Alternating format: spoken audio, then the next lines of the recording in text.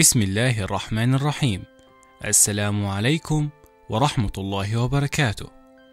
أهلا ومرحبا بكم. قبل البدء نرجو منكم الاشتراك في القناة وتفعيل الجرس. كان يا مكان في قديم الزمان كان هناك رجل طحان يعيش في بيت صغير هو وابنته بجانب مطحنته. كانت ابنته فائقة الجمال والذكاء. وكان الأب ثرثار يروي كثيرا من الحكايات من خياله وكانت ابنته تنصحه دائما أن يكف عن الكذب في حكاياته. وفي يوم من الأيام أقام الملك وليمة لأهل القرية ودعي الأب الطحان لهذه الوليمة. ونصحته ابنته بأن لا يتكلم بوليمة الملك بالقصص الكاذبة خوفا عليه. ذهب الأب الطحان إلى الوليمة ولم يستمع لنصيحة ابنته فأخذ يتحدث ويثرثر بالقصص المبالغ بها.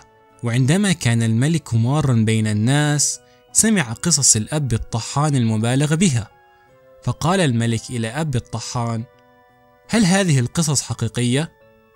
فقال الطحان نعم يا مولاي هذه القصص حقيقية وسأقول لك عن ابنتي ولن تصدق ما سأقول. أن ابنتي الجميلة تستطيع تحويل القش إلى الذهب. نظر الملك إلى الأب الطحان متعجبا وغير مصدق لما يقوله وأراد أن يلقن الأب الطحان درسا. فقال الملك إذا كان ذلك صحيحا فيجب أن تأتي بها إلى هنا وسوف أحضر لها القش وأرى ما يمكن أن تفعله. ولكن إذ لم تأتي بها أو لم تحول القش إلى ذهب سوف أقوم بحبسك مدة طويلة جدا. ندم الأب الطحان من الورطة التي تورط بها مع الملك وأراد أن يتراجع عن كلامه. قال الأب الطحان ولكن يا مولاي فقاطعه الملك. إن لم تأتي بابنتك سوف أقطع رأسك. خاف الأب الطحان من قول الملك ولم يعرف ماذا يفعل. غادر أب الطحان إلى بيته وجلس أمام ابنته ياسمين. لاحظت ياسمين أن أباها مرتبك وشارد الذهن فسألت ياسمين أباها ما بك يا أبي؟ فقال الأب لقد ورطت نفسي ورطة لا أستطيع الخروج منها قالت ياسمين ماذا حدث معك يا أبي؟ قال الأب لقد أخبرت الملك أنك تستطيعين تحويل القش إلى خيوط ذهبية وأمرني أن آتي بك إلى القصر وإذا لم أفعل قطع رأسي هلعت ياسمين؟ وقالت لأبيها لقد نصحتك يا أبي بل لا تكذب بوليمة الملك فكيف أستطيع أن أحول القش إلى خيوط ذهبية؟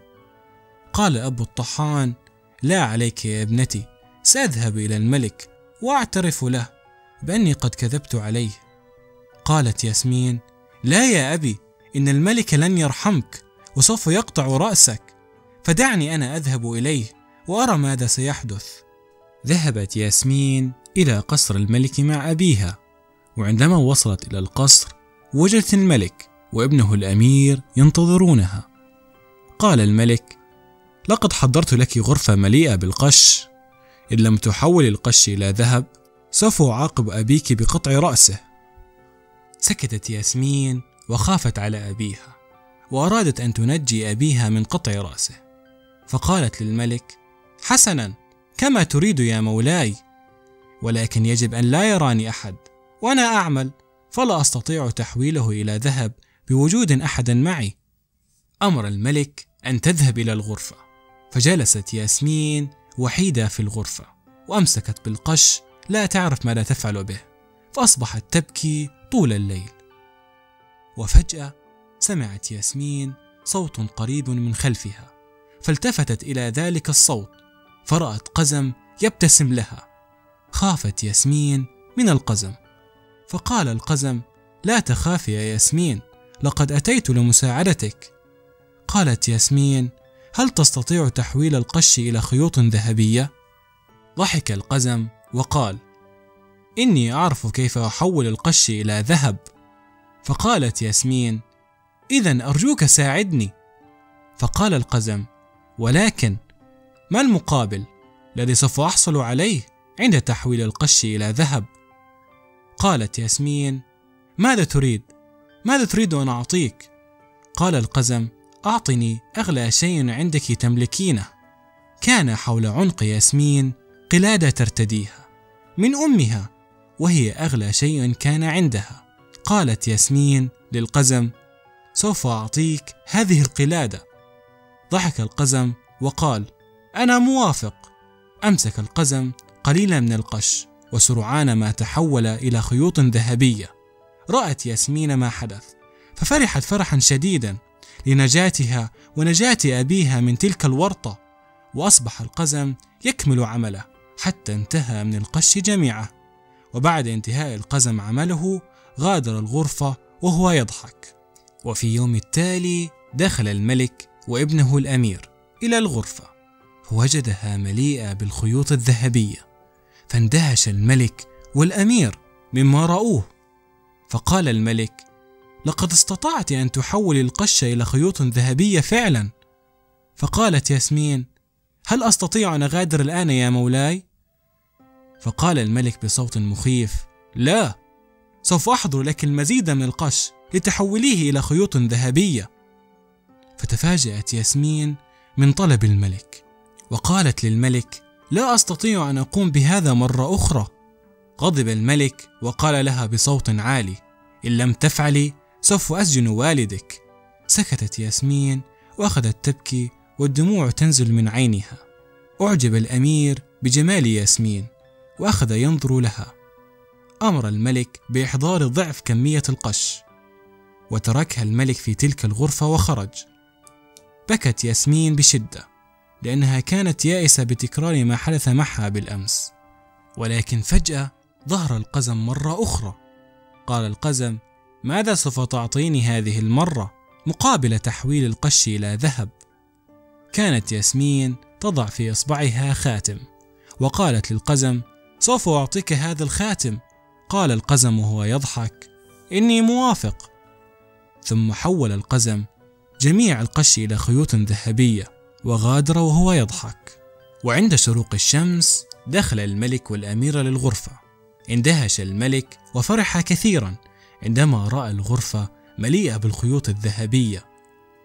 فقال الملك لياسمين سوف أحضر لك المزيد من القش. إذا استطعت تحويلها إلى خيوط ذهبية سوف تكون آخر مرة.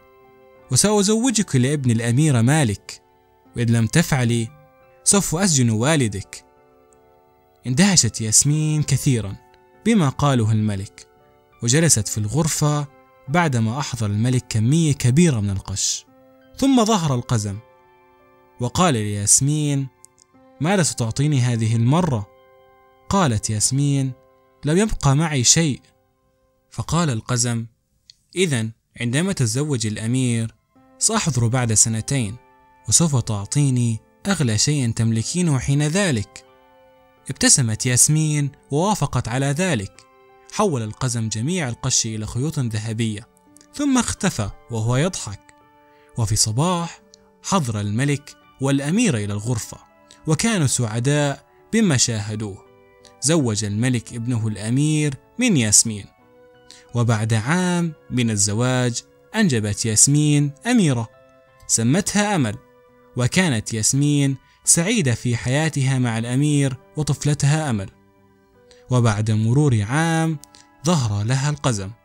فقال القزم والآن وقد أتى الوفاء بالوعد. سوف تعطيني أغلى ما تملكينه الآن. كانت الأميرة ياسمين ترتدي عقدا من اللؤلؤ الثمين. وقالت القزم خذ هذا العقد. ضحك القزم ليس هذا أغلى ما تملكين قالت ياسمين إذا ماذا تريد؟ قال القزم إن أغلى ما تملكين هي ابنتك الأميرة أمل. سوف أخذها. صعقت الأميرة ياسمين مما سمعت من القزم وقالت له لا لن أعطيك طفلتي. قال القزم لا يستطيع أحد منعي وسوف أخذها وأذهب. بكت أميرة ياسمين وأصبحت ترجى القزم بل لا يأخذ طفلتها أمل. قال القزم سأمهلك ثلاثة أيام. إذا عرفت ما هو اسمي لن آخذ منك شيئا. وسأترك طفلتك وأغادر. اختفى القزم وهو يضحك.